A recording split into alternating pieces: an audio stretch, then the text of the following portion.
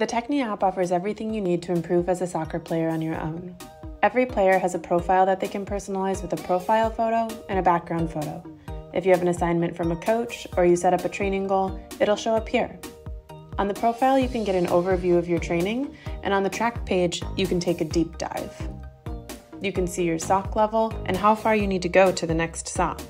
As you hit new levels, you get actual training socks. It's like the belt system in martial arts.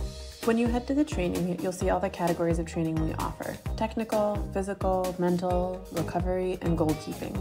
The fundamentals is for young players and players who are new to the game. It covers beginner and intermediate training to create a solid foundation. Each week, a new session goes live in four categories where you see the new badges juggling, dribbling, wall work, and 10 minute core. These are all guided sessions that are set up for you to train at your own pace. There are always at least three sessions live in the weekly dribbling, juggling, and wall work. If we check out this week's session, you can see we show what equipment to use, offer some tips on the training, and then the drills are listed in the order of how to train. Each drill has a video demonstrating the technique as well as a written description. Many drills have the option to adjust the difficulty up or down depending on your level.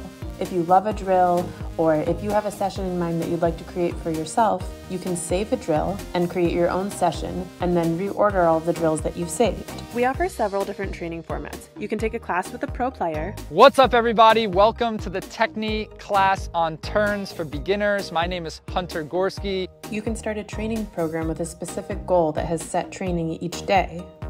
And you can test your foundational skills with over 56 timed tests. As you log scores, you can track your progress in a chart. The Compete tab is where you can find the leaderboard. If competing with the community isn't your thing, you can make a leaderboard with just your friends and personalize it with your own photo. It's a great way to hold yourself and your teammates accountable. You can see how other players in your state are training and around the world in the community leaderboards. In the app settings, players can update their soccer resume, which is a free feature we offer to all Techne players. They can update their drill difficulty, look at past challenges that we've offered.